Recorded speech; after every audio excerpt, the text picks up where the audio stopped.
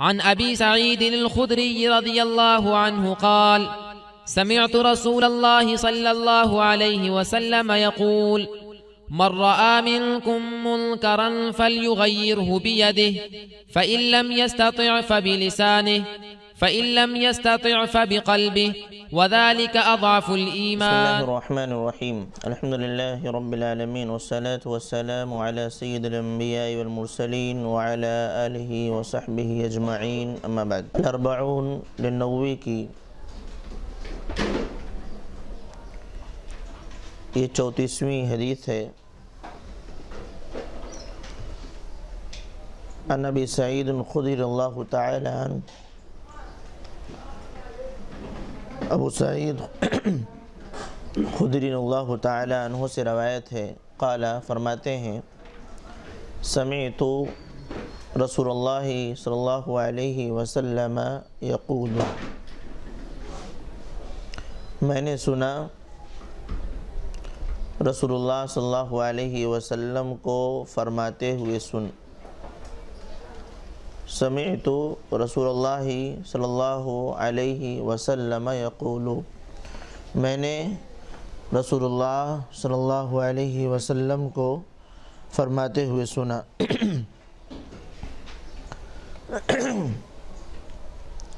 من رأى منکم منکرن من منے، جو کون، یہاں جو۔ رعا منے دیکھا من کم تم میں سے۔ من رعا من کم تم میں سے جس نے بھی دیکھا۔ من منے جو جس رعا منے دیکھا من کم تم میں سے۔ من رعا من کم تم میں سے جس نے دیکھا، منکرن، کوئی منکر کام۔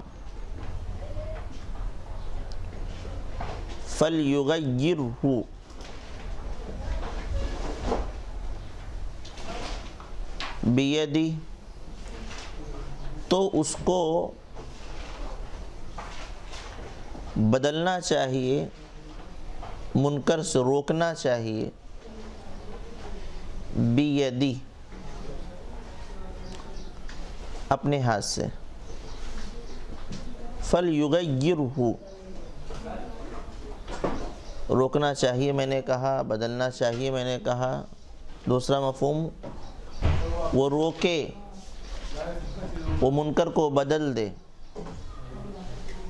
بیدی، اپنے ہاتھ سے۔ فَإِن لَمْ بس اگر وہ استطاعت نہیں رکھتا، طاقت نہیں رکھتا، ہاتھ سے بدلنے کا، تو فَبِلِسَانِ، تو اپنی زبان سے اس منکر کو روک دے، بدل دے۔ الحمدللہ۔ فَإِن لَمْ يَسْتَطِعْ، اگر وہ زبان سے روکنے کی طاقت نہیں رکھتا، تو فَبِقَلْبِهِ، تو اپنے دل سے یہاں دل سے روکنا، یہاں دل سے برا جاننا۔ دل سے برا جاننا۔ وَذَلِكَ عَضْعَفُ الْإِيمَانِ۔ اور یہ دل سے برا جاننا۔ ایمان کی سب سے کمزور قسمیں ہیں۔ اضعف الایمان سب سے کمزور قسم ایمان کا سب سے کمزور حصہ ہے۔ کہ برائی دیکھا، برائی کو صرف دل میں برا جانا، تو یہ ایمان کا سب سے کمزور حصہ ہے۔ اس روایت کو امام مسلم رحمہ اللہ نے اپنے صحیح کے اندر ذکر فرمایا۔ یہ مشہور روایت ہے اور اکثر و بیشتر لوگوں کو یہ روایتیں یاد بھی رہتی ہیں، ان کو سننے کا موقع بھی ملتا ہے۔ من رأى منكم منكرا فليغيره بيدي فإن لم يستطع فبلساني فعلم يستطع فبقلبی وذلك اضعف الایمان۔ کہ جب منکر دیکھو، تم میں سے کوئی شخص منکر کو دیکھے، تو اس کو منکر کو روکنے کے لیے اپنے ہاتھ کا استعمال کرنا چاہیے۔ اگر ہاتھ سے روکنے کی طاقت نہیں ہے تو زبان کا استعمال کرنا چاہیے۔ اگر زبان سے بھی روکنے کی طاقت نہیں ہے تو پھر دل میں برا جانے۔ اور یہ ایمان کا سب سے کمزور حصہ ہے۔ جس شخص کے اندر یہ درجہ ہو کہ نہ تو وہ زبان، ہاتھ سے روک سکتا ہے اور نہ ہی زبان سے روک سکتا ہے، دل میں برا جانتا ہے۔ تو یہ سب سے کمزور حصہ۔ اس کا مطلب کیا ہو گیا کہ اگر یہ تیسرا حصہ بھی نہیں پایا جاتا، برائی دیکھا اور برائی دیکھنے کے بعد روکنے کی تمنا بھی دل میں نہیں آئی، برا جاننے کے مطلب ہوا۔ دل سے روکنے کا مفہوم کم از کم دل میں تمنا تو آ جائے کہ ہم برائی سے روکیں، کاش کی روک سکتے۔ اگر یہ بھی نہیں آتا ہے تو یہ سمجھ لیں کہ اب اس کے اندر ایمان نہیں رہ گیا۔ کیوں؟ سب سے کمزور ایمان جو تھا وہ یہی تھا کہ دل کے اندر اس کو برا جان رہے ہیں، روکنے کی تمنا اور خواہش ہے۔ یہاں میں تمنا اور خواہش کی بات اس لیے کر رہا ہوں کیونکہ یہاں منکر روکنے کی ذمہ داری دی جا رہی ہے۔ تو ذمہ داری روکنے کے لیے آپ تو یا تو آپ قدم بڑھائیں اپنے ہاتھوں سے روک دیں یا زبان سے روک دیں، یا کم از کم دل میں تمنا تو آ جائے۔ اس لیے تمنا، میں تمنا کا ترجمہ کر رہا ہوں۔ ایک ہوتا برا جاننا۔ وہ بھی ایک حصہ ہے، لیکن یغیر کے ساتھ، تغییر کے ساتھ، بدلنے کے ساتھ دل میں تمنا آ جانا اس کا تعلق زیادہ ہے۔ ایک آدمی دل میں برا جان رہا ہے۔ ٹھیک ہے۔ اس کے مقابلے میں ایک درجہ ہے کہ روکنے کی تمنا و خواہش، ہمارے سامنے کوئی برائی ہو رہی، ہم جانتے ہیں غلط ہے۔ اتنا ہی غلط جان کے ہم بیٹھ گئے۔ ٹھیک ہے۔ ایک اس سے تھوڑا بڑھ کر ہے، کیا کاش کہ میں روک سکتا؟ تو یہ دل میں تمنا ہونا، یہ اس پس منظر کے اعتبار سے، سیاق کے اعتبار سے زیادہ مناسب ہوگا۔ کہ کم از کم دل میں خواہش جاگے کہ میں اس برائی کو روک سکتا۔ یہ ہوا اس حدیث کا ترجمہ۔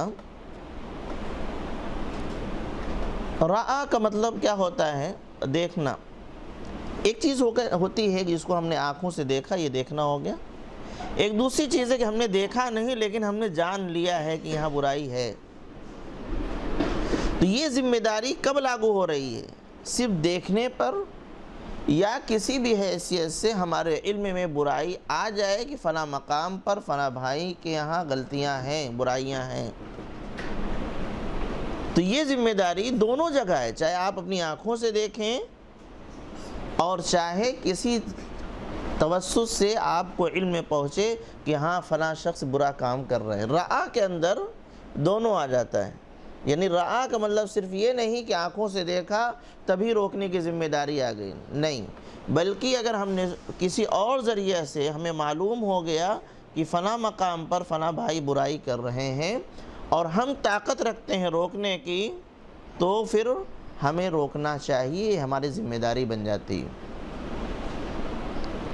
دوسری بات منکر کیا ہے؟ منکر ہر وہ کام جس کو شریعت نے غلط بتایا ہے۔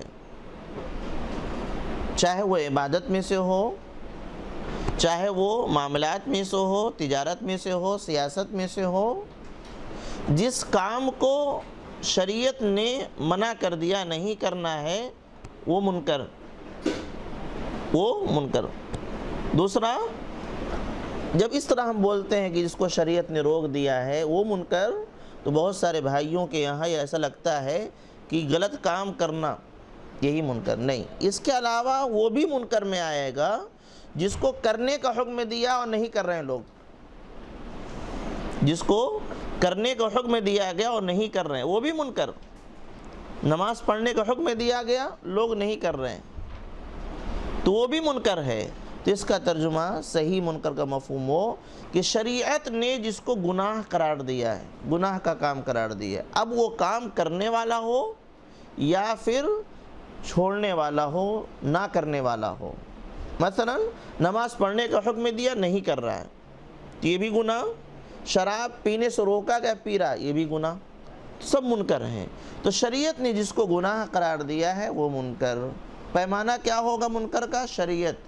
ہمارے اور آپ کی پسند یہ کسی چیز کو منکر یا مستحب نہیں بنائے گی۔ کسی سماج کے اندر کوئی برائی ہے اور لوگ اس کو برا نہیں جان رہے ہیں۔ کوئی ایسا گناہ ہے جس کو لوگ برا نہیں جان رہے ہیں؟ تو کیا وہ منکر کہلائے گی؟ اسے منکر کہا جائے گا؟ نہیں کہا جائے گا؟ آپ میرے ساتھ آ جائیے۔ شریعت اس کو منکر کہہ رہی ہے اور سماج اس کو منکر نہیں مان رہا ہے۔ شریعت اس کو گناہ قرار دے رہی ہے اور لوگ اس کو گناہ نہیں مان رہے ہیں۔ تو منکر ہے؟ وہ منکر ہے نا؟ گرچہ سماج نہیں مان رہا ہے۔ تو ایسے موقع پر ہماری ذمہ داری بنتی ہے کہ سماج جس کو برائی نہیں جان رہی، اس کو برا ثابت کرنے کی کوشش کیجیے۔ جب برائی ثابت ہو جائے گی اور آپ کے اندر طاقت ہے روکنے کی تو پہلے مرحلے میں روک دیجیے ایک مثال میں دیتا ہوں ہندوستان جو سماج، ہمارا ہندوستانی سماج ہے۔ بہت سارے ایسی چیزیں ہیں جس کو لوگ برائی نہیں سمجھتے ہیں حالانکہ وہ برائی ہے۔ بے پردگی کا جو عالم ہوتا ہے، عورت کی جانب سے یا مردوں کی جانب سے، گھروں کے اندر ایک وہ چل پڑا ہے کہ بھابھی ہیں تو اپنے دیور سے پردہ نہیں کریں گی یا دیور ہیں تو اپنے بھائی، اپنے بھابھی سے پردہ نہیں۔ میں دونوں طرف کہہ رہا ہوں۔ ادھر سے بھی پردہ پردہ دونوں طرف سے، ایک طرف سے نہیں۔ ہے تو ایک وہ برائی ہے؟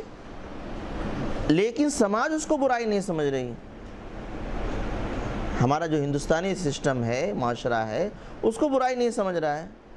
اگر یہاں اس طرح کی باتیں اگر آپ کریں کہ یہ غلط ہے تو لوگ عجیب نگاہوں سے دیکھتے ہیں یہ کون سی بات نئی نئی چیز لے کر کے آ رہے ہیں؟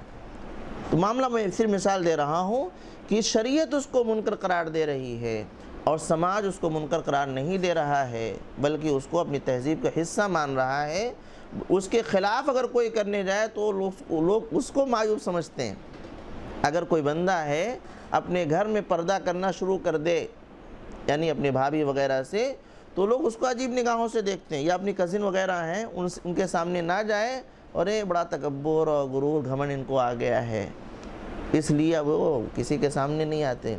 اور اگر وہ روک دے اپنی بیوی کو تم فلاں کے سامنے مت جانا، تو ان کے لیے بھی مسئلہ ہے۔ یہ ہے سمجھ تو منکر کو وہ لوگ مستحب بنائے بیٹھے ہیں۔ تو کیا وہ منکر ہوگا شریعت کے اعتبار سے؟ پیمانہ ہمارا اور آپ کا نہیں، پیمانہ اللہ رب العالمین کا ہوگا۔ تو منکر وہ ہے جس کو شریعت نے گناہ قرار دیا ہے۔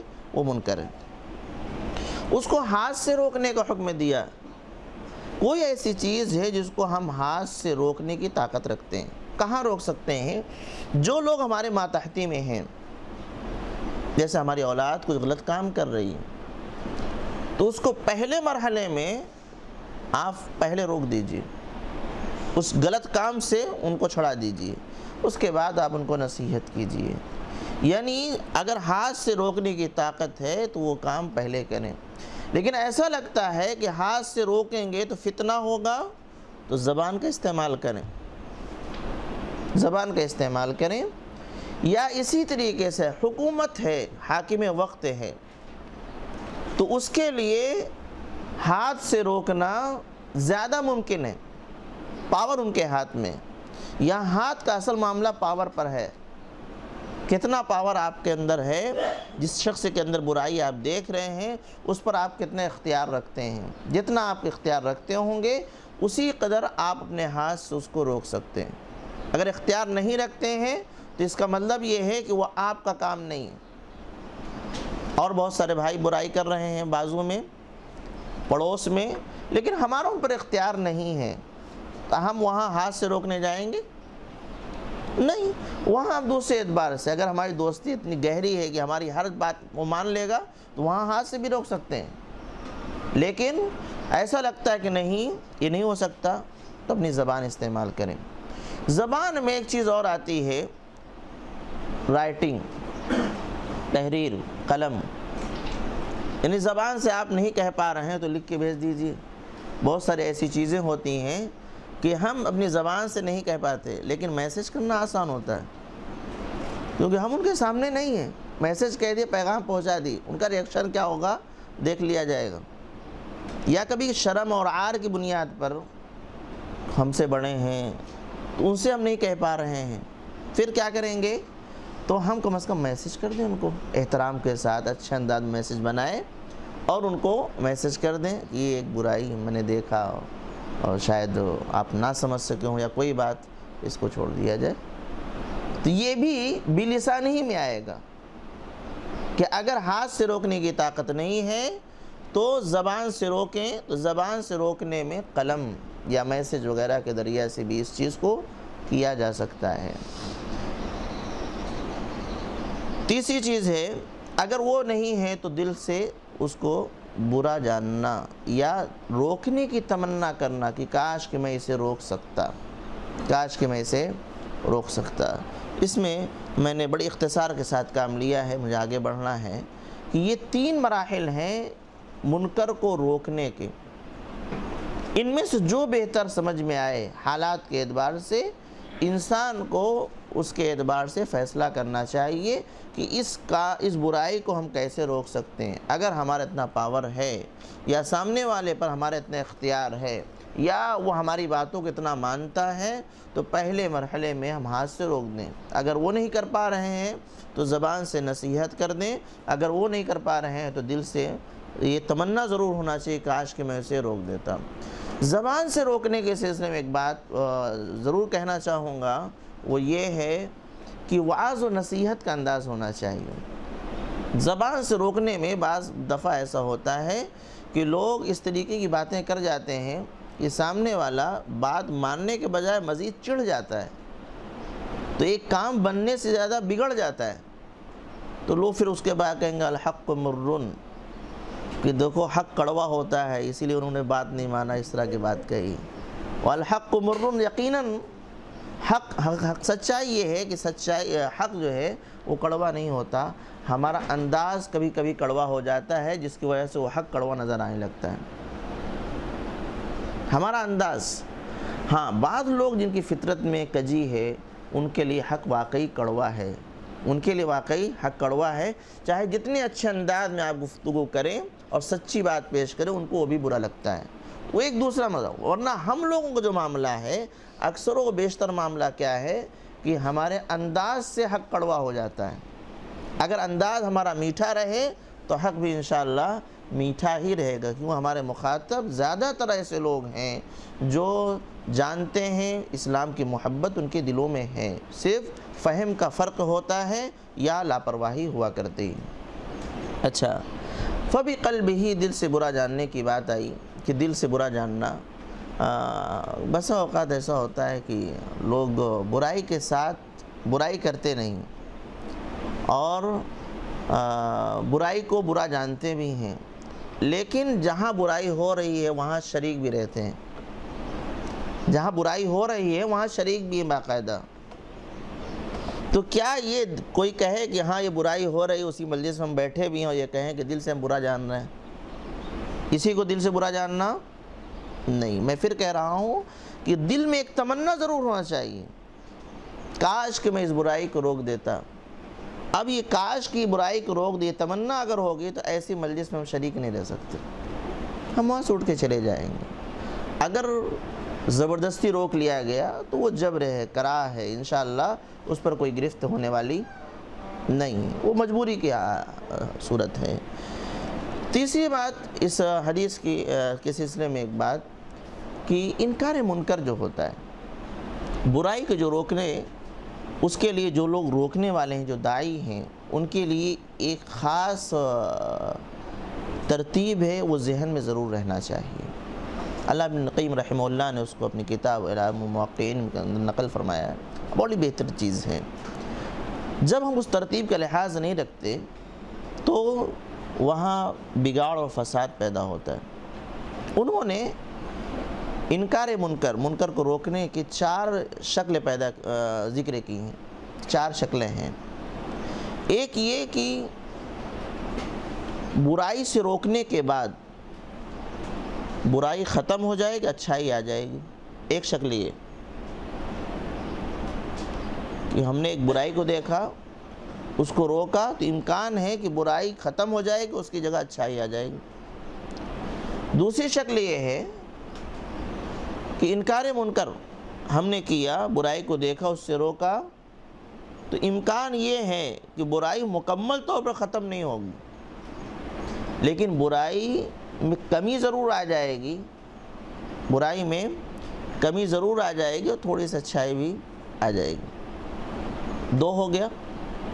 تیسری شکل یہ ہے کہ ہم نے برائی کو روکا تو اس کے بدلے میں جو پلٹوار، ریئیکشن ہو سکتا ہے، وہ بھی اسی قدر ہو سکتا ہے۔ برابر۔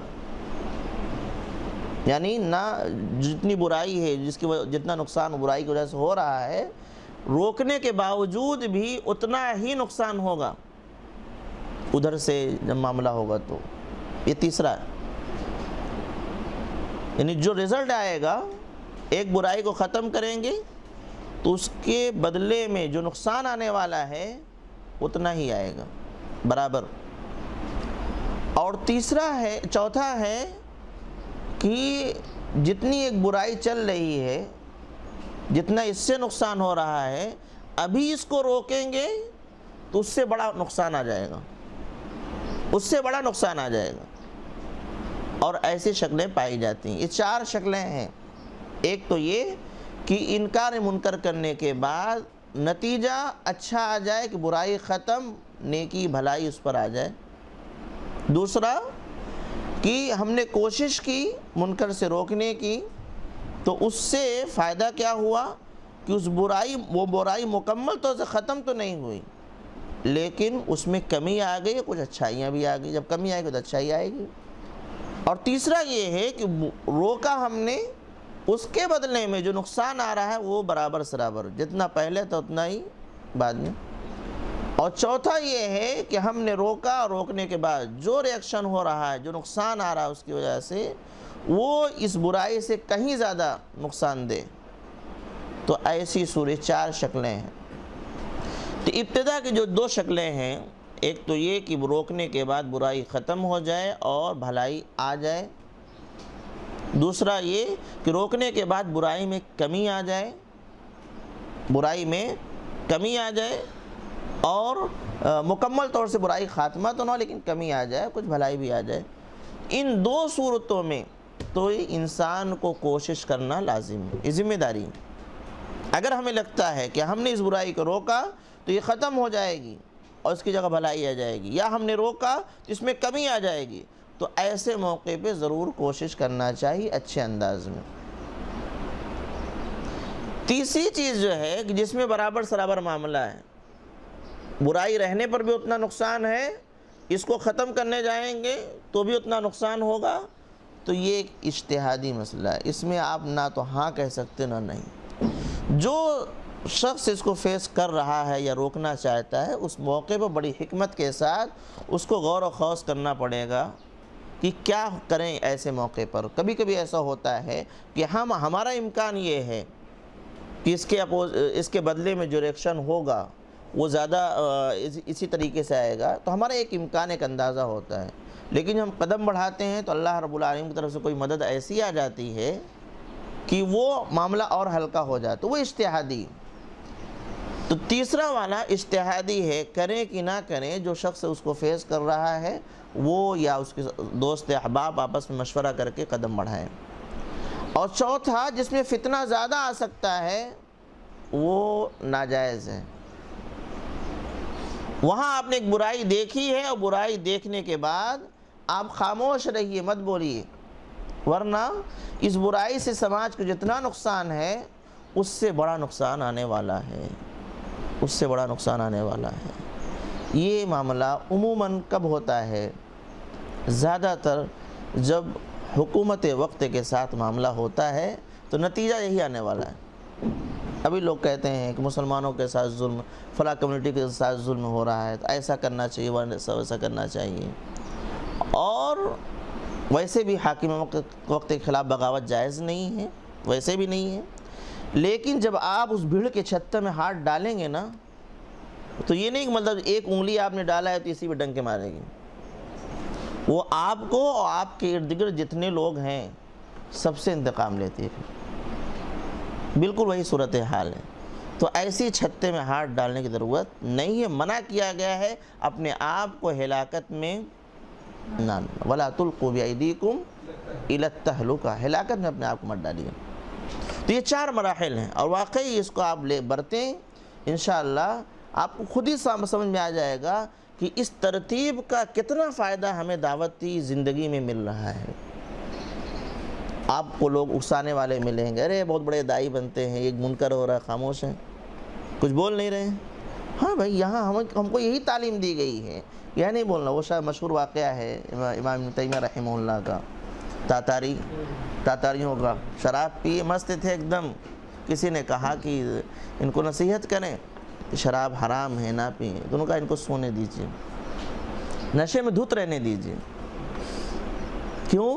ان کو اگر آپ ان سے ہاں، چھڑا دیں گے تو یہ قوم کا، انسانیت کا اور بڑا خسارہ کرنے والے ہیں، قتل و غارت گری کرنے والے ہیں۔ یہ فہم ہے سلف کی۔ یہ ہمارے اسلاف کے فہم۔ وہ بھی انکار منکر کیے ہیں۔ وہ بھی دعوت و تبلیغ کا کام کیے ہیں۔ لیکن دیکھیے، ایک بڑا منکر ہوتے ہوئے انہوں نے کہا، نہیں رہنے دیجیے نہیں حالت میں۔ ایک اس برائی کو چھڑائیں گے ان سے، اس سے بڑا گناہ کریں گی تو یہ یہ تمام چیزیں کس کی جانب سے ہوتی ہے اللہ کی جانب سے ہوتی ہیں۔ کہتے ہیں حکمت، جب آپ ابھی آئے گے اور جب اللہ کے ولی کوئی ہوتا ہے، جب اللہ کی عبادت کرتے کرتے انسان اللہ کے ولی کے درجے کو پہنچ جاتا ہے۔ تو کیسا حدیث میں آیا کہ میں اس کا ہاتھ ہو جاتا ہوں، جس سے وہ پکڑتا ہے، جس سے پیر ہو جاتا ہے۔ یہ دلیل، مثال موجود ہے۔ ورنہ اس طرح کی چیز حدیث میں نہیں ملی تھی کہ اگر کوئی سوتا رہے، شراب پی کر کے اور ایسے ہوں تو ان کو مت جگائیے گا۔ یہ اللہ کی جانب سے ہوتا ہے۔ تو یہ انہی کے شاگرد رشید علامہ ابن قیم رحمہ اللہ نے، انہوں نے یہ چار مراتب ذکر کی ہیں۔ اور شاید کسی اس میں ہے کہ یہ علامہ ابن تیمیہ رحمہ اللہ کے اقوال ہیں، واللہ علم تو بہرحال یہ چار مراتب اس کا ضرور لحاظ رکھیں۔ دوسرا، یہ جو ترتیب رکھی گئی کہ طاقت اگر ہاتھ کی تو ہاتھ سے ورنہ نہیں۔ زبان سے کر لیجیے زبان سے نہیں تو کم از کم دل میں تمنا ضرور ہونا چاہیے کہ ہم یہ برائی کاش کے روک سکتے۔ اور اگر یہ بھی نہ آئے، تو ہمیں مان لینا چاہیے کہ ہمارا ایمان ختم ہو گیا۔ اگر یہ تمنا ہمارے دل میں نہیں آ رہی ہے، تو یہ مان لینا چاہیے کہ ہمارے دل میں اب ایمان نہیں رہ گیا۔ اور سچائی یہ ہے کہ اکثر لوگوں کا ایمان اسی درجے پر ہے یا اس سے کم۔ ہاتھ سے روکنا، زبان سے روکنا، یہ بہت گنے چنے لوگ ہیں۔ ایک ہوتا ہے کہ آپ اسٹیج پر کھڑے ہو کے تقریر کر دیجیے۔ وہاں کیا ہے؟ عمومی خطاب آپ کا ایک برائی نہیں کرنا چاہیے۔ یہ تو بہت ملیں گے آپ کو۔ ہے نا؟ اس لیکن آپ کے گھر میں ہو اور آپ زبان بھی نہ کھول سکیں، یا لوگوں کو سمجھا نہ سکیں تو ایسے لوگوں کو تعداد بہت مل جائے گی۔ اور سمجھ رہے میری بات کو؟ خطاب عمومی خطاب کرنا یہ بہت آسان ہے کہ برائی کو آپ بیان کر رہے ہیں۔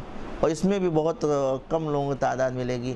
جو برائی کو برائی کہہ رہے ہوں، سماج میں عمومی طور پر کسی کا نام لیے بغیر، کسی کے ساتھ وہ کام دیکھے بغیر، عمومی طور پر ایک برائی کو برائی کہنے کی جرت لوگوں میں نہیں رہ گئی۔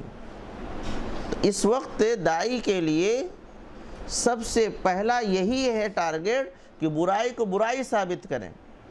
یہ برائی ہے، یہ برائی ہے، یہ برائی ہے، یہ برائی ہے۔ اسی پہ سارا ریئیکشن سماج کا آپ کے اوپر آ جائے گا کہ فلاں چیز کو برائی کہہ رہے ہیں۔ ایسے ہی وراثت وغیرہ کے مسائل جو ہمارے سماج کا حصہ بن گئے ہیں۔ تو بہرحال یہ تھی۔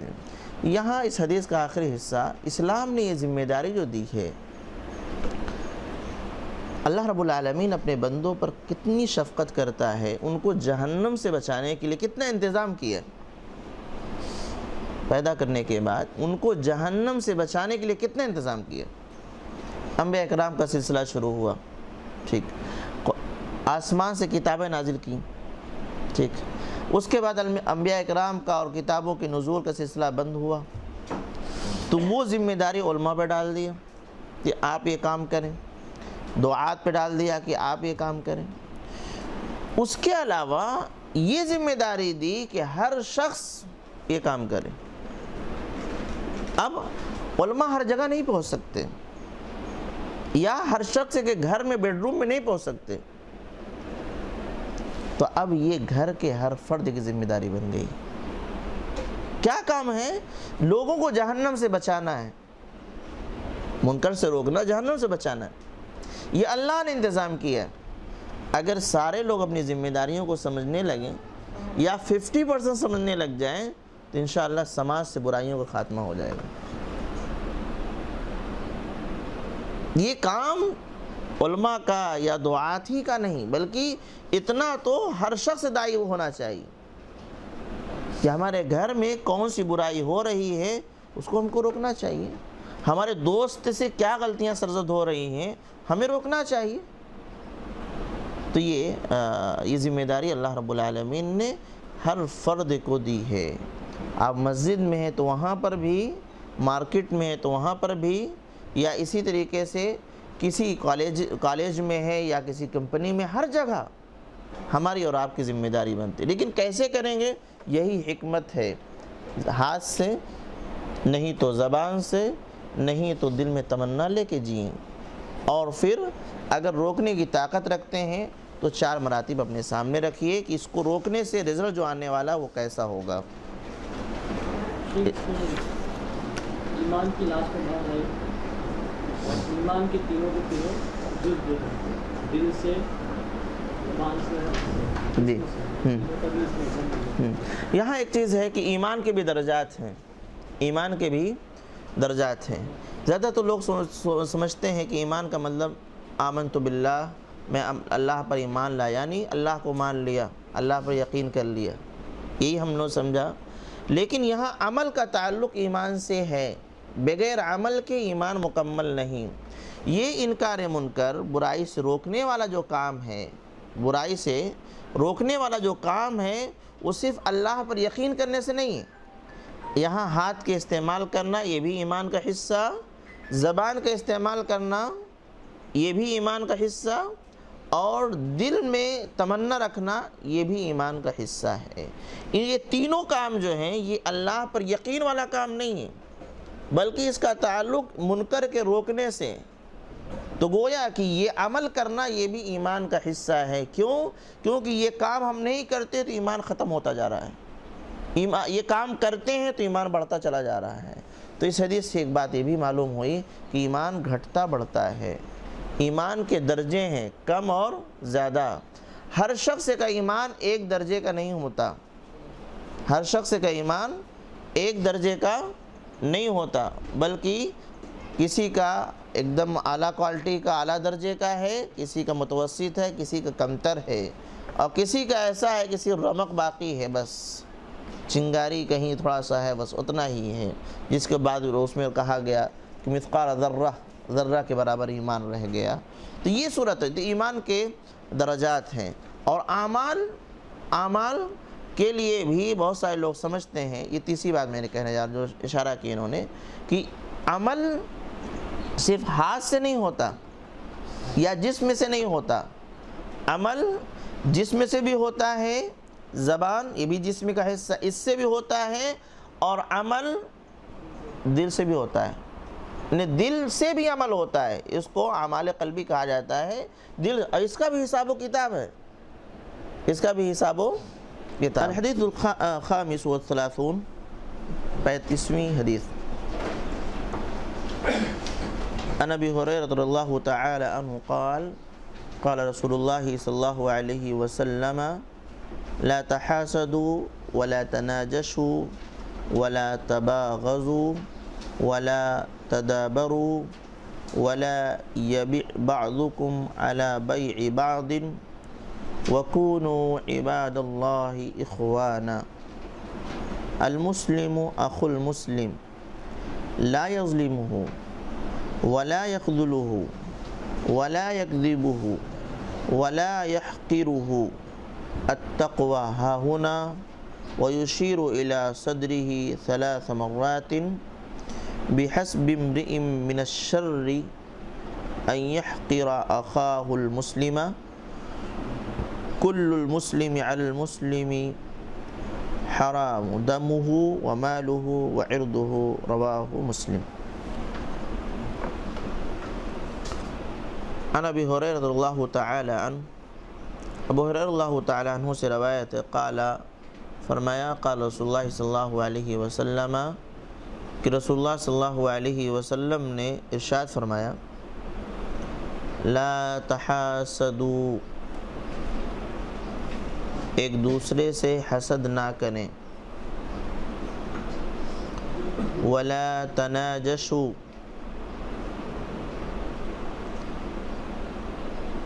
ایک دوسرے کے لیے بھاؤ نہ بڑھائیں۔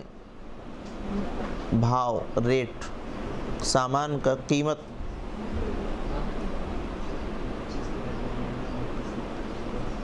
قیمت نہ، میں ترشیح کرتا ہوں ابھی۔ ایک دوسرے کے لیے بعض جگہ اس کو کہتے ہیں دلالی نہ کریں۔ دلالی کی کئی قسمیں ہیں، کچھ جائز بھی ہیں۔ ولا تباغضوا ایک دوسرے سے بغض نہ رکھیں۔ ولا تدابروا۔ ایک دوسرے سے اختلاف نہ کریں۔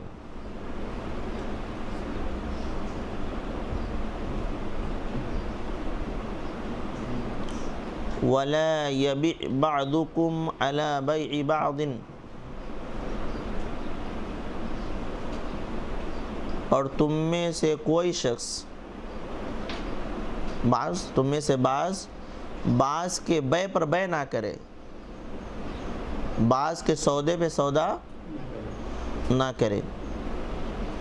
وَكُونُوا عباد اللہ اخوانا اور تم لوگ اللہ کے بندو، تم لوگ اللہ کے بندے بھائی بھائی ہو۔ بھائی بھائی ہو جاؤ۔ وَكُونُوا عباد اللہ اخوانا تم لوگ اللہ کے بندو بھائی بھائی ہو جاؤ۔ المسلم اخو المسلم. ترجمہ کریں.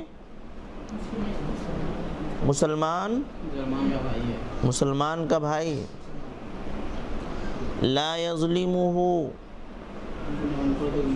وہ اس پر ظلم نہیں کرتا. ولا یخذلہ اور اس کو بے یارو مددگار نہیں چھوڑتا۔ ولا یکذبہ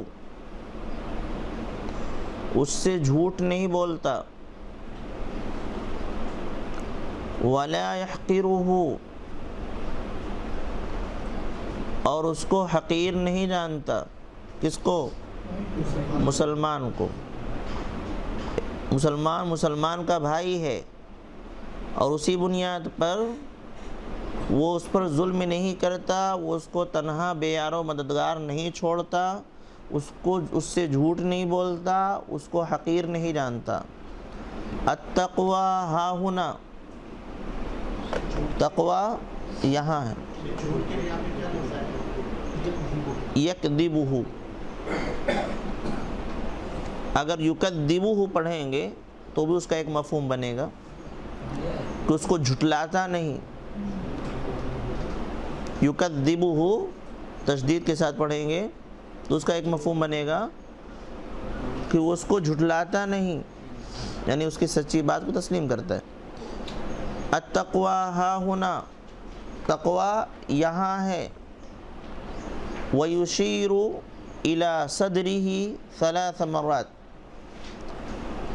اور نبی کریم صلی اللہ علیہ وسلم نے اشارہ فرمایا إِلَى صَدْرِهِ اپنے سینے کی طرف ثلاث مرات، تین مرتبہ. یعنی التقوی ہا ہونا التقوی ہا ہونا التقوی ہا ہونا پھر فرمایا، بحسب امرئ من الشر. انسان کی برائی کے لیے یہی کافی ہے۔ انسان کی برائی کے لیے یہی کافی ہے کہ ان یحقر اخاہ المسلم، کہ وہ اپنے مسلمان بھائی کو حقیر جانے۔ بحسب امرئ من الشر۔ انسان کے لیے برا ہونے کے لیے یہی کافی ہے۔ برائی کی بجائے ترجمہ کریں۔ برا ہونے کے لیے یہی کافی ہے۔ کہ ان یحقر اخاہ المسلم۔ کہ اپنے مسلمان بھائی کو حقیر جانے۔ کل المسلم علی المسلم حرام۔ ہر مسلمان مسلمان پر حرام۔ کیا حرام ہے؟ دمہ اس کا خون اس پر دوسرے مسلمان پر حرام۔ ومالہ اس کا مال حرام۔ وعرضہ اور اس کی عزت و آبرو حرام۔ رواہ مسلم، اس کو امام مسلم رحمہ اللہ نے اپنے صحیح کے اندر ذکر فرمایا ہے۔ اس حدیث کو مسلمانوں کے حقوق کے تعلق سے اگر ذکر کیا جائے یا اس کی ہیڈنگ دی جائے تو بہت بہتر ہوگا۔ اللہ رب، اللہ کے نبی صلی اللہ علیہ وسلم نے اس حدیث کے اندر مسلمانوں کو آپس میں کیسے رہنا چاہیے؟ یا یہ کہہ لیجیے کہ کن کن چیزوں کے ذریعہ سے مسلمانوں میں آپس میں بگاڑ و فساد پیدا ہوتا ہے۔ اس کو یہاں آپ نے ذکر فرما دی، یہ کام نہ ہو۔ اگر یہ کام نہیں ہوگا تو آپ کی جو مسلمانوں کے آپس میں جو شکل بنے گی وہ بھائی بھائی کی ہوگی۔ پہلے تو کہا یہ نہ کرو، یہ نہ کرو، یہ نہ کرو، یہ نہ کرو اور ایسے ہو جاؤ۔ پھر ایسی باتیں بتلائیں کہ یہ یہ کام لوگ مسلمان آپس میں نہیں کرتے اپنے بھائی کے لیے۔ اگر کرتے ہیں پھر وہ جو بھائی بن گئے تھے، وہ دھیرے دھیرے اس میں کھٹاس آنی شروع ہو جائے گی۔ پھر آگے اللہ کے نبی صلی اللہ علیہ وسلم نے ایک دوسرے کو حقیر جاننا اس پر زیادہ زور دیا ہے۔ کہ یہ حقیر کسی کو حقارت کی نگاہ سے دیکھنا، حقیر جاننا، یہ بہت خطرناک چیز ہے۔ اور پھر آگے جو ایک دوسرے پر جو ہے حرمت والی چیزیں ہیں، اس کا تذکرہ پہ نبی صلی اللہ علیہ وسلم نے ذکر فرمایا۔ اے لا تحاسدو، حسد نہ کریں۔ حسد کس کو کہتے ہیں؟ آپ کے اندر ہم نے اللہ کی دی ہوئی کچھ نعمتیں دیکھیں۔ صلاحیت آپ کے اندر ہے، مال آپ کے پاس ہے، اولاد آپ کے پاس ہے، خاندان بڑا ہے، خوبصورت ہیں، یہ تمام چیزیں اللہ کی نعمتیں اس کو دیکھنے کے بعد ہمارے ذہن میں یہ بات آئے کہ کاش کی ان سے نفرت چھن جائے یہ ان سے یہ نعمت چھن جائے۔ بس۔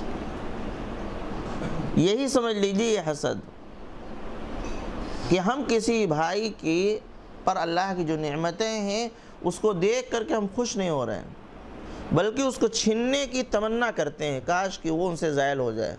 اور جب کبھی اللہ رب العالمین کی جانب سے وہ نعمت ان سے چھین لی جاتی ہے، یا کسی وجہ سے بطور آزمائش کم کر دی جاتی ہے، تو ہم کو مزہ آ جاتا ہے۔ خود تو کچھ کیے نہیں، لیکن اس بیچارے کا کچھ چھینا تو ہم کو خوشی ہو رہی ہے۔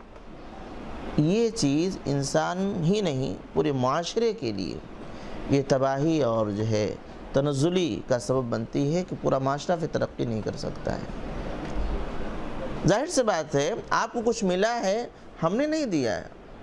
اور یہ کہ آپ کا بھی نہیں ہے وہ وہ اللہ نے ان کو دیا اس کا مطلب ان پر ان نعمتوں سے حسد کرنا گویا کہ اللہ رب العالمین کے عطا کردے پر، عطا کرنے پر ہم ناراض ہو رہے ہیں۔ کہ اللہ نے کیوں عطا کر دیا؟ حالانکہ اللہ جانتا ہے کس کو دینا ہے، کس کو نہیں دینا ہے۔ تو حسد کا مفہوم سمجھ گئے کہ کسی کے پاس کوئی نعمت ہے، اس نعمت کو زائل ہونے کی تمنا کرنا کہ ان سے وہ نعمت چھن جائے۔ اسی کا نام حسد ہے۔ اب چاہے کوئی قدم بڑھائیں یا نہ بڑھائیں، اس نعمت کو ختم کرنے کے لیے کچھ کوشش کریں یا نہ کریں، وہ حسد ہے۔ اور یہ بہت خطرناک چیز ہے۔ کہتے ہیں کہ دنیا میں سب سے پہلے جو گناہ ہوا ہے، وہ حسد کی بنیاد پر ہوا ہے۔ پہلا گناہ کیا ہوا ہے دنیا کے اندر؟ قتل۔ کیوں ہوا ہے؟ ایک نعمت۔ کسی کو مل رہی تھی، وہ ان سے دیکھا نہیں جا رہا تھا۔ تو بہرحال یہ انسان کو آپ سوچیں کہ جتنا جب ہم حسد کرنے لگتے ہیں تو ہماری زیادہ تر توجہ اس بات پر ہوتی ہے کہ ان کے پاس وہ نعمت چھنی کہ نہیں چھنی ختم ہوئی کہ نہیں ہوئی۔ ہم زیادہ فوکس اسی پہ کرتے ہیں۔ اتنی توجہ ہم اپنی لائف پہ کریں، اپنی کوششوں پہ کریں تو ہم خود ترقی کر سکتے ہیں۔ اس کی وجہ سے ہم پیچھے رہ جاتے ہیں۔ ہمارا سماج، ہمارا معاشرہ، ہمارا گھرانہ پیچھے رہ جاتا ہے۔ کیوں؟ ہم دوسروں کی نعمتوں کو دیکھ کر کے جلتے رہتے ہیں کہ کیسے تمنا کرتے رہتے ہیں، کیسے وہ نعمت ان سے چھن جائے۔ اور جب ہم دیکھتے ہیں کہ روز بروز الحمدللہ ابھی بھی ترقی کر رہے ہیں، تو ہمارے اندر ایک طرح سے مایوسی آتی چلی جاتی۔ ہے یہی ہماری لائف ہو جاتی ہے، پھر ہم ترقی نہیں کر سکتے۔ نبی صلی اللہ علیہ وسلم نے فرمایا، لا تحاسدو اور پھر جب اس طرح کے معاملہ آتا ہے تو آخر میں ہم خود قدم بڑھانا چاہتے ہیں کہ اس کی نعمت ختم ہو جائے یا خود اس کو جان سے مار دیں، کچھ ہو جائے ایکسیڈنٹ ہو جائے، یہ تمام چیزیں ہونے لگتی ہیں۔ تو اس لیے فرمایا، لا تحاسدو یہ آپ کے لیے بھی نقصان کا سبب ہے اور سماج کے لیے بھی ولا تناجشو نجش نہ کرو، بھاؤ نہ بڑھاؤ، ریٹ نہ بڑھاؤ۔ اس کا مفہوم کیا ہے؟ کہ ہمیں سامان لینا نہیں ہے، لیکن ہمیں سامان کا ریٹ بڑھانا ہے۔ اس کی وجہ سے ہم جا کر کے ریٹ لگا کے چلے جاتے ہیں۔ ہم دیکھ رہے ہیں کہ دو بھائی آپس میں کوئی کوئی سامان کے سلسلے میں بے و شرح کر رہے ہیں، بات چیت کر رہے ہیں۔ ہم پہنچے اور ان کی جو سودا جو ہے سو روپے میں ہو رہا تھا، ہم نے دیکھا کہ سو میں شاید ڈن ہو جائے۔ ہم دھیرے سے بولے کہ ہم کو ایک سو دس میں دیں گے کیا؟ میں لینے کو تیار۔ اس پہلے سے پلاننگ بھی ہوا کرتی ہے۔ یا پلاننگ نہ بھی ہو اور ہم اسی مقصد کے تحت ریٹ بڑھا دیں تاکہ ہمارے اس بھائی کا نقصان ہو جائے، یہی نجش ہے۔ یہی بھاؤ بڑھانا ہے۔ ایک ہوتا ہے کہ ہم لا علم ہیں، ہم کو میں نہیں معلوم۔ ایک سامان کی قیمت سو روپے ہے اور ہم لا علمی میں ایک سو دس لگا کے چلے آئے۔ اور دوسرا شخص اسی ایک سو دس پر لے لیا ہے، تو انشاءاللہ اس پہ کوئی گناہ نہیں ہے۔ کیوں؟ ہماری نیت ریٹ بڑھانا نہیں تھی، بلکہ ہماری نیت تھی کہ ہم خریدیں گے، ہم سے نہیں ہو پایا ہے۔ یہ ہوا۔ لیکن جان بوجھ کر کے ہم ریٹ کو بڑھائیں اس وجہ سے کہ دوسرے بڑھ چڑھ کے خرید لے اور ہم کو خریدنا نہ ہو، یہ ہے نجش اس سے پہ نبی صلی اللہ علیہ وسلم نے منع فرمایا۔ ذرا دیکھیے گا۔ کہ اسلام نے ہمیں رہنے کا جو سلیقہ سکھلایا ہے، کتنا پیارا اور بہترین انداز کے ذریعہ سے زندگی گزارنے کا سلیقہ دیا ہے کہ یہ کرنا ہے، یہ نہیں کرنا ہے۔ اگر یہ چیزیں ہماری مارکیٹ سے ختم ہو جائیں، جو کچھ چل رہا ہے، تو آپ دیکھیں کہ سب کے لیے بھلا کی بات ہے۔ مہنگائی جو بڑھتی ہے، وہ نہیں ہوتا کہ صرف دکاندار مہنگائی بڑھاتے ہیں۔ بیچ میں چند لوگ ہیں جن کی کوئی دکان نہیں ہے۔ لیکن وہ ریٹ بڑھائے ہوئے ہیں، ان کی وجہ سے مہنگائی بڑھی ہوئی ہے۔ میں نے کہا کہ دلالی کے سلسلے میں بعض لوگ کہتے دلالی۔ تو اس طرح کی دلالی جو ہے کہ ہمارا اور آپ سے طے سامان آپ کا ہے۔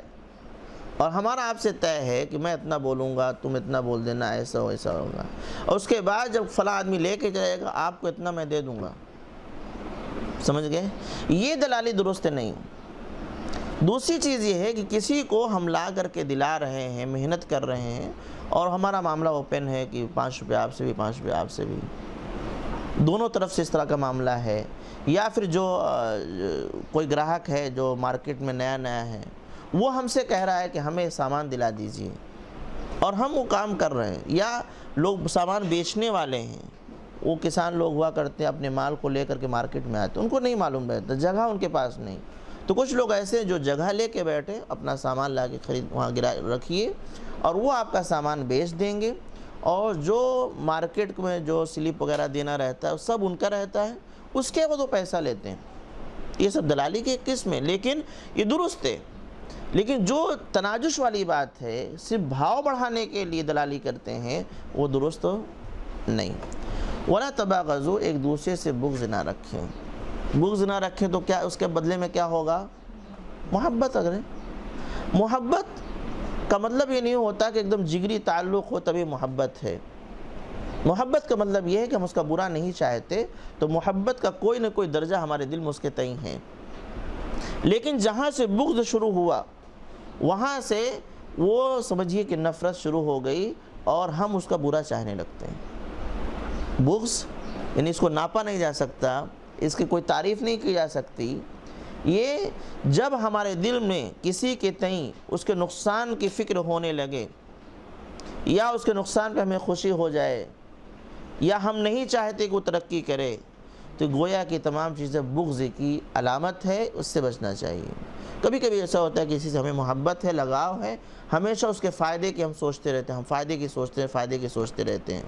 یہ تو محبت کی علامت ہے۔ اور کبھی کبھی ایسا ہوتا ہے کہ ہم ایک دم نارمل رہتے ہیں۔ نہ فائدہ نہ نقصان۔ اگر فائدہ ہوا، الحمدللہ، ٹھیک ہے اچھا ہوا۔ نقصان ہوا تو نہیں، اللہ اللہ رب العالمین بھرپائی کر دے۔ یہ جو زندگی ہے، یہ بغض سے خالی زندگی ہے۔ اس کو آپ بغض کا نام نہیں دے سکتے۔ اس کو آپ محبت کی یہ ابتدائی درجہ آپ کہہ سکتے ہیں۔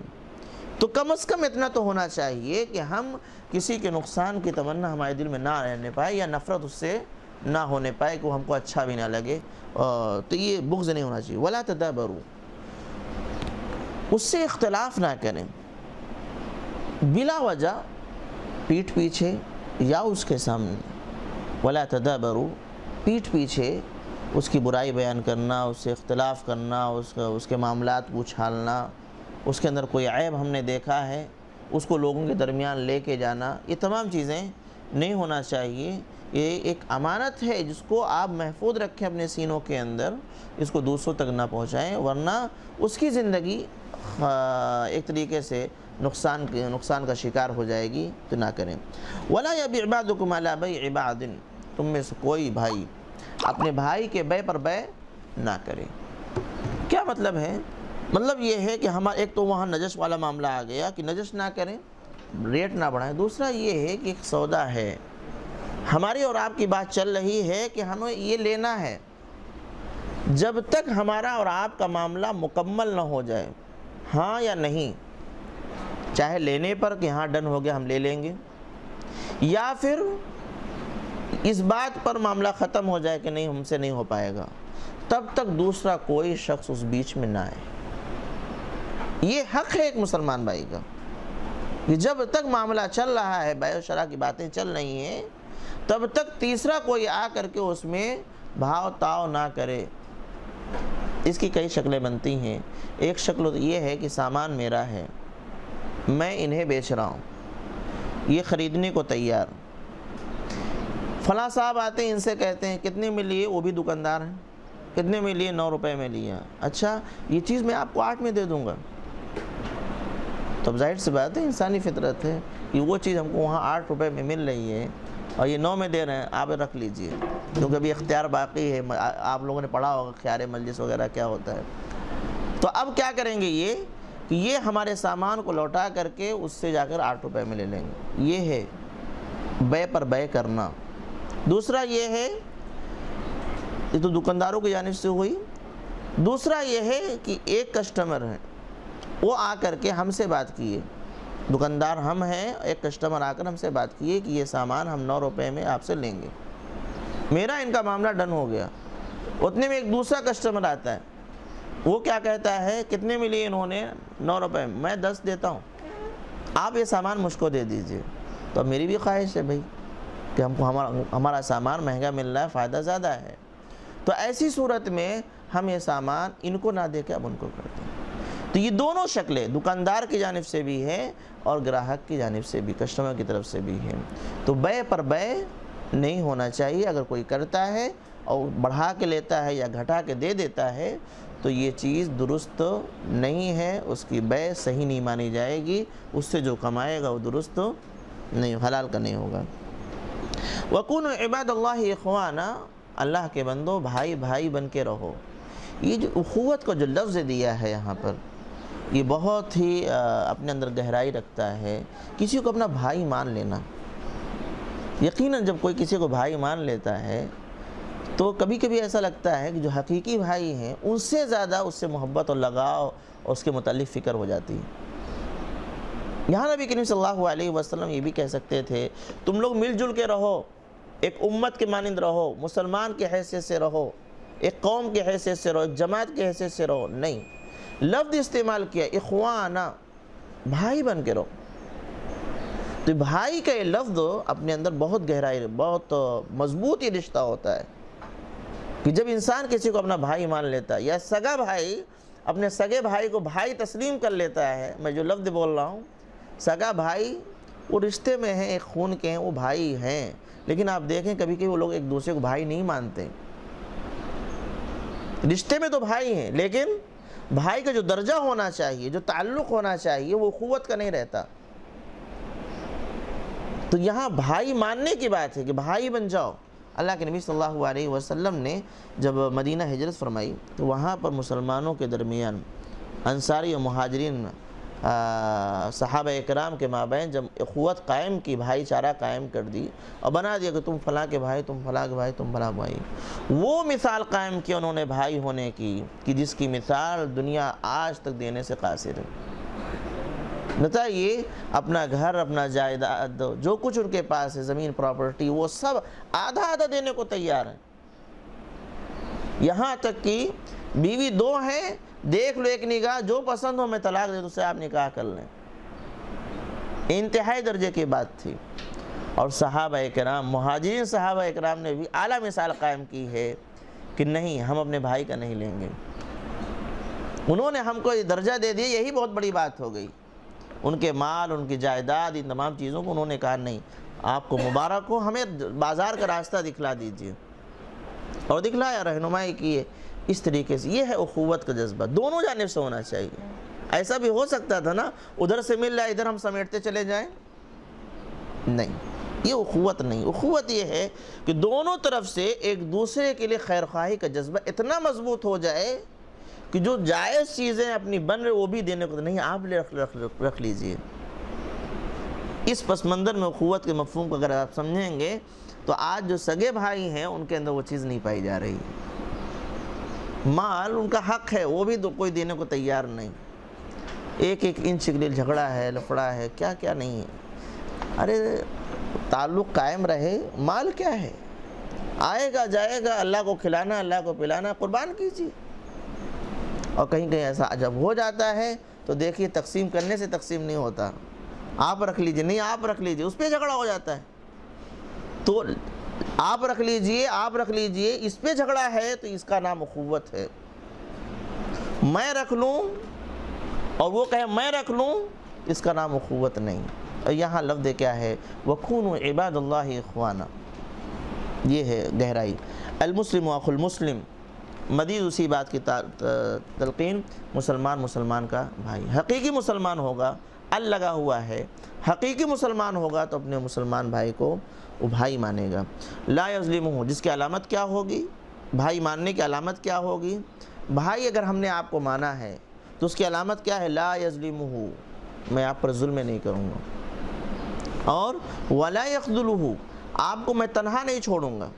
بے یارو مددگار، کہ کوئی آپ کو مار رہا میں چلا جاؤں۔ نہیں، میں رکوں گا، بچانے کی کوشش کروں گا، معاملے کو حل کرنے کی کوشش کروں گا۔ آپ بیمار ہیں مجھے فکر ہوگی کہ آپ کا علاج ہو رہا ہے کہ نہیں ہو رہا ہے۔ آپ کے گھر میں کھانا بن رہا ہے کہ نہیں بن رہا ہے؟ آپ کے بچے کپڑے پہن رہے ہیں کہ نہیں پہن رہے؟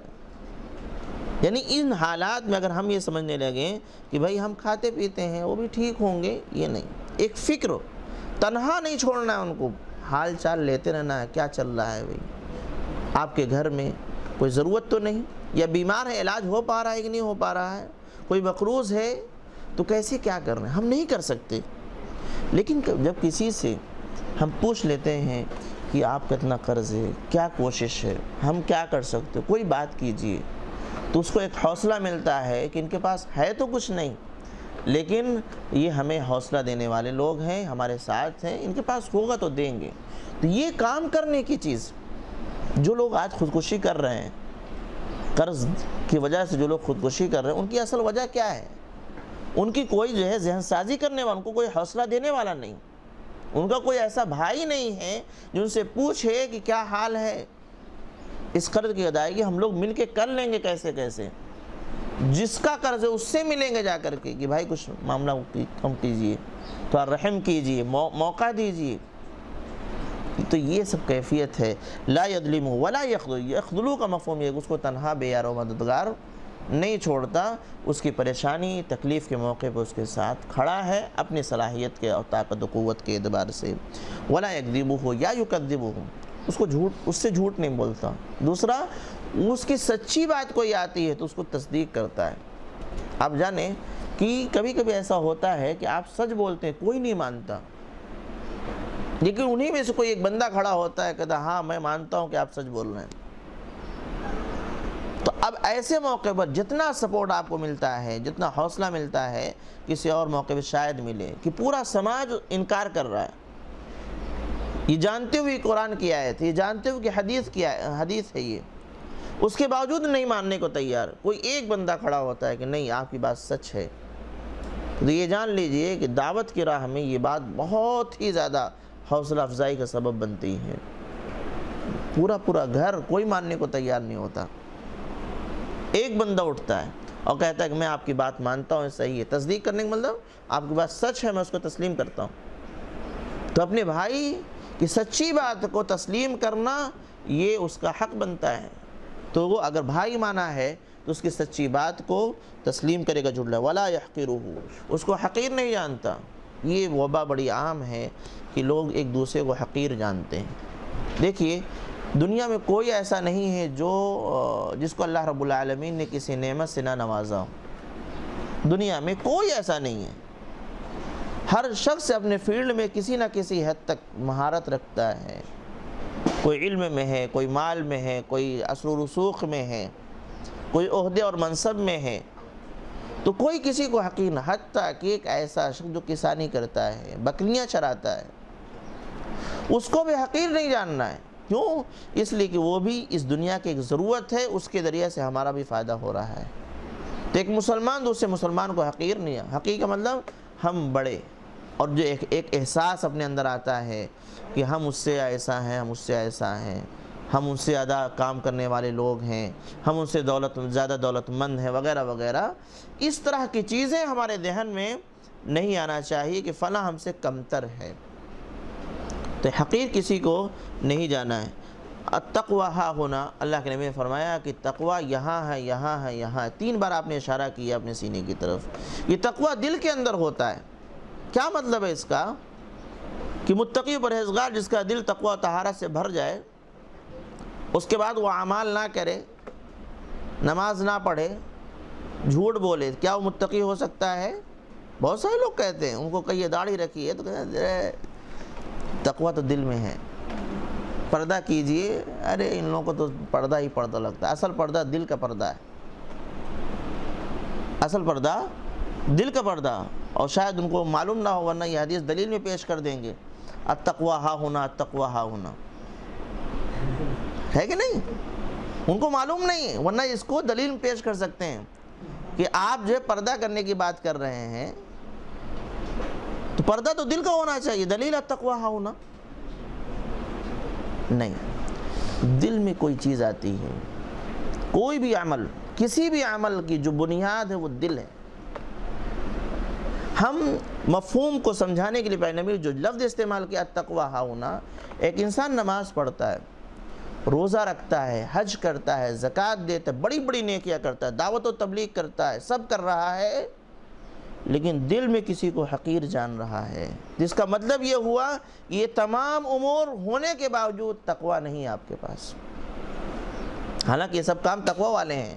نماز، روزہ، حج، زکوٰۃ وغیرہ سب تقوی والے ہیں۔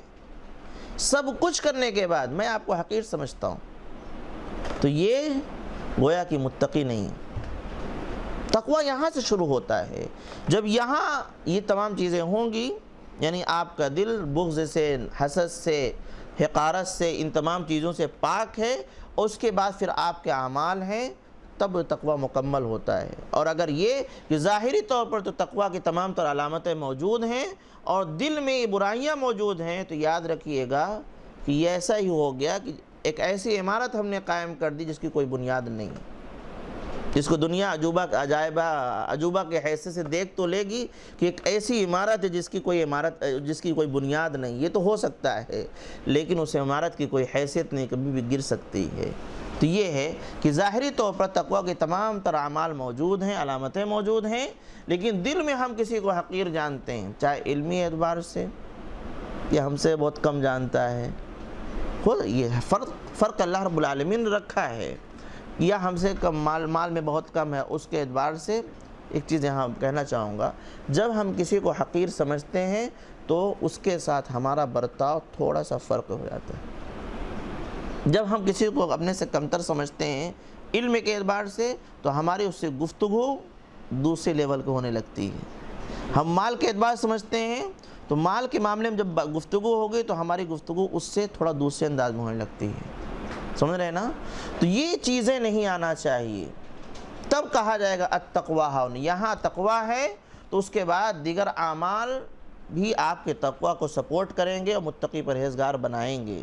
لیکن اگر ظاہری اعمال موجود ہیں اور دل کے اندر اس طرح کی گندگیاں موجود ہیں تو اس کو اس کو متقی اور پرہیزگار نہیں کہا جا سکتا۔ اس کا فیصلہ کون کرے گا؟ کون شخص متقی ہے اور کون پرہیزگار ہے؟ اس کا فیصلہ کون کرے گا؟ ہاں؟ کون کرے گا؟ اللہ کرے گا نا کہ ہم اور آپ آپس میں کر لیں گے کہ فنا شخص متقی ہیں، یہ پرہیزگار ہیں۔ کون کرے گا؟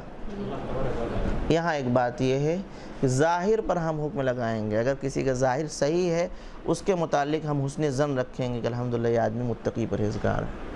لیکن اصلی فیصلہ اللہ کرے گا۔ اصلی فیصلہ اللہ کرے گا ورن اور قیامت کے دن ہوگا۔ اللہ بچائے کہ بہت سارے لوگ ایسے لوگ پکڑے جائیں گے۔